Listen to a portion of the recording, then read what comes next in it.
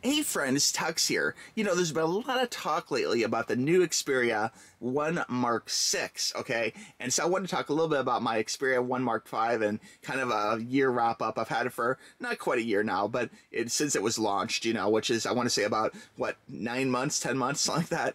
And at first, you know, it's like, okay, is this going to be a replacement for DAPs, like the NWA 306 from Sony? And the answer is yes and no, okay? This is probably the single best audiophile phone there is, okay? This has almost every bell and whistle of the Sony NWA 306, but not quite all of them. It doesn't have this cassette screensaver, and a few of the music touches like uh, the vinyl filter and things like that does not have on here. But you know what? This sounds amazing, okay? And for being a day-to-day -day phone, this is something which I use uh, over like my Samsung phone and over other phones, Apple phones, that kind of thing. Um, this is my go-to phone. If you see me in real life walking around, unless I'm multi-client playing like two Pokemon games at once or something, I'm probably carrying this phone. Okay. In fact, I would bet money that this phone is in my pocket. Um, love this phone. You know, at first I wasn't sure about the form factor because it is kind of, it's a little bit more like narrow.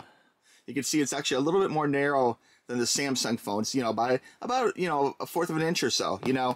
But I'll tell you that that fourth of an inch really makes it feel good in your hand, okay? I love, especially if I'm like, you know, walking or on a scooter or something and just want to pull it out and one-hand it. I can easily type with one hand and it's just more convenient for me, you know. And I like the way it looks too. Um, I think what really draws me to this is the sound and of course the camera functions. Um, this takes amazing photos. It, there's a million videos on YouTube about the photos. I'm not gonna go through everything part of it, but it basically has you know Alpha series like things you can go basic, and other phones do not have you know things like this. And I'm again I'm not gonna go through everything, but just amazing ways you can customize your photos. Now I will say this phone is not quite as user friendly if it comes to like if you just snap and shoot and you don't want to like be, you know, Mr. Photographer and be creative, changing exposure times and changing that kind of thing. Um, it is not the simplest camera phone, but after using this for a little while, I've really grown to love this camera phone.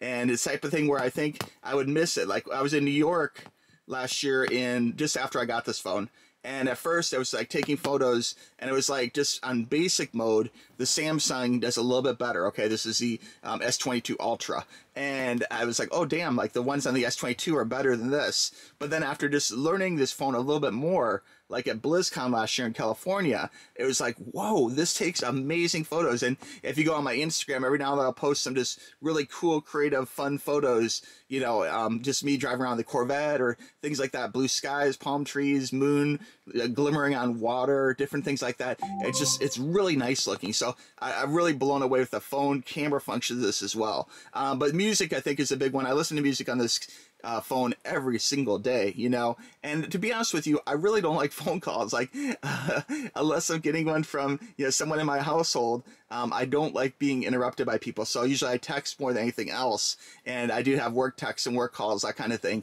But um, in general, my friends all text. Like we don't call each other on the phone. Usually, it's more of a text situation, you know.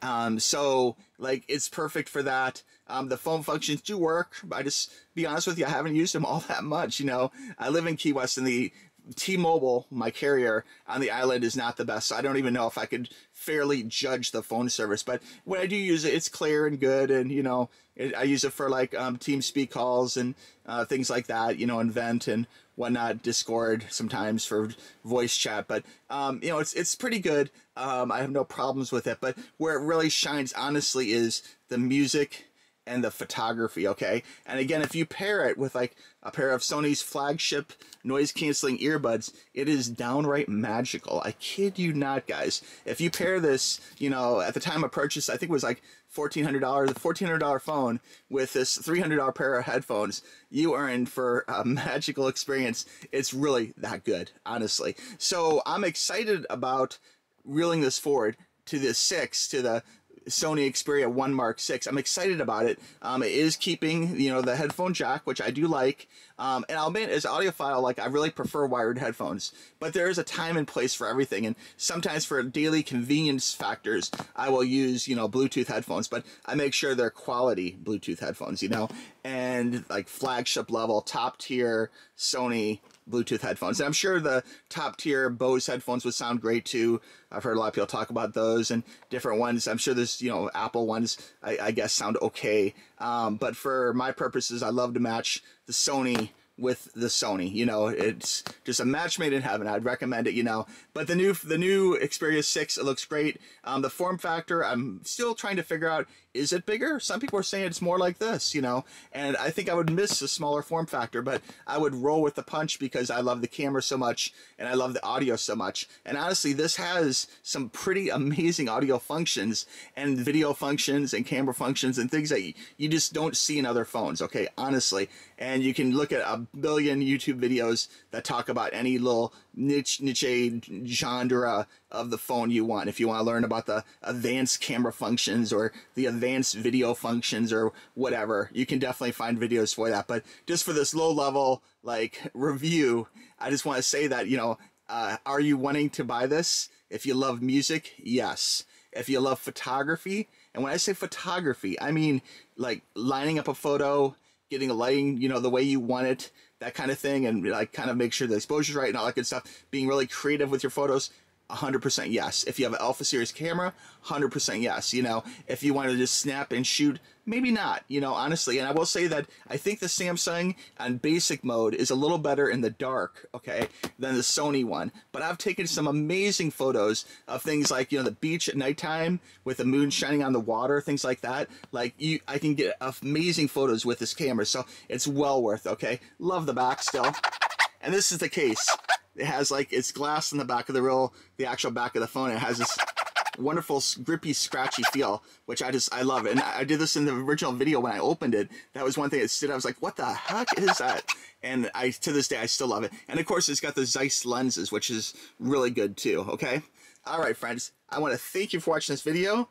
If in doubt, it's now is a great time to pick up the flagship Xperia 1 Mark V phone, okay? And if you're looking forward to, if you want the latest and the greatest, of course, the Xperia 1 Mark 6 is coming out later this year, and it looks amazing, okay? I'm not going to comment on rumor speculation, but it looks like there's even going to be some more advanced audio things, which I'm looking forward to, which I'm going to talk more in detail about in a future video, okay? And the camera function is going to be amazing, and about the only change, it's still going to have the card slot for memory, still going to have the headphone jack that people love, audiophiles love. About the only thing which is kind of in question would be the form factor if it will be bigger or not. Okay, some people say yes, you know, so we'll see about that, and we'll see if that changes my feelings and my my love fest with the Xperia One Mark V or not. Okay, if you guys have any questions, reach out to me. Tuxtoys at gmail.com. Again, links for these products will be right below, and I want to thank you for watching. Okay, we'll talk to you soon. Bye bye. Click the link.